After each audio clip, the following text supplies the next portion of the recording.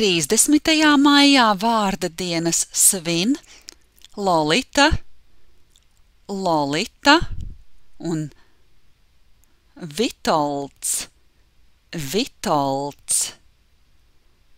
Sumināta vārda dienā Lolita, sumināts vārda dienā Vitold.